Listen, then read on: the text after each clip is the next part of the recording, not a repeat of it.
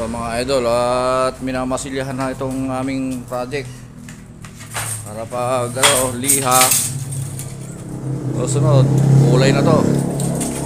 Aabangan nyo ang kulay nito. Napakaganda nito. Class A ang pagkakulay nito. Spray ito varnish varnish finish to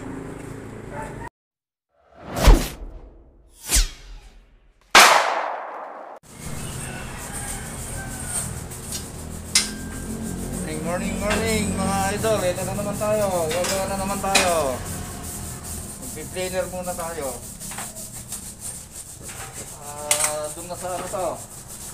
Sa luhuran na yung kulang.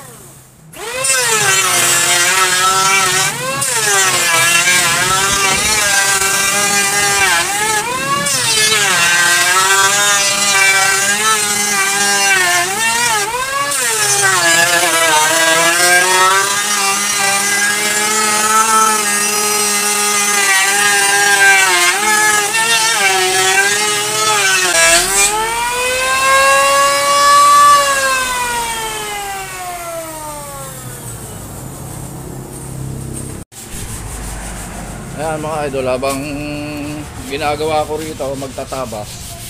Siyempre, sinabi ko doon sa nagpapagawa, kay Insan, sabi ko, kailangan may maglilihan na. O ako, kakayanin ko lahat-lahat to, pero kailan pa matatapos, gusto rin matapos, makatapos. Kaya ayan, bayaw niya naman itong tagaliha rin. O di naka-sideline din. Ganun lang yun. Pwede kong suluhin kung gusto ko, pero matagal. Class A pa naman tong gagawin na to. Para may na yung isa. Dagdag tatabasin na naman. Marami na tatabasin ito. Ayan. Tatabasin na naman natin yan. Magiging 15 cm. Ayan na naman. ah, para makabuo na naman na isang ganon. Oh. Kakatam na naman tayo. Tapos mamaya, tabas naman, tabas. Katam muna, katam. Planer.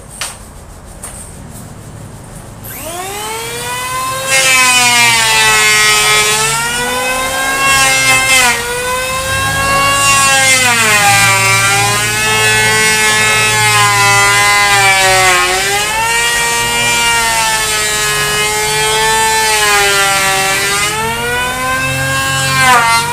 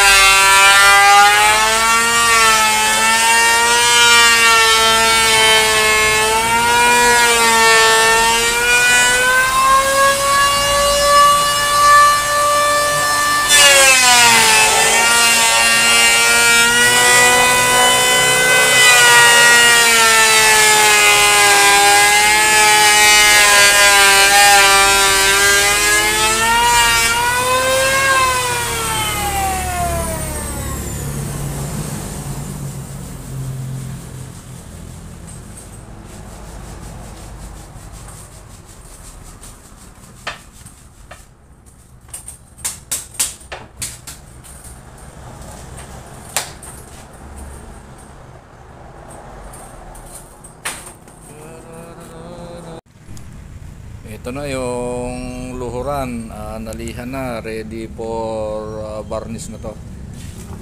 Ayan. Ayan, mga idol, ready to varnish na to. Pero gagawin ko pa yung isa para isahan na lang pagbabarnish. Pero pa isa nito. ah, natagalan lang talaga dahil siyempre tinabas ko lahat. ah, kinatam ko gamit ang planer dahil ang kahoy na to buo. Ah, katulad nito ito tatabasin ko pa bukas to. Ayan, yan yung mga tina, ah, tatabasin ko pa bukas. Marami na akong tinabas. Kasama niyan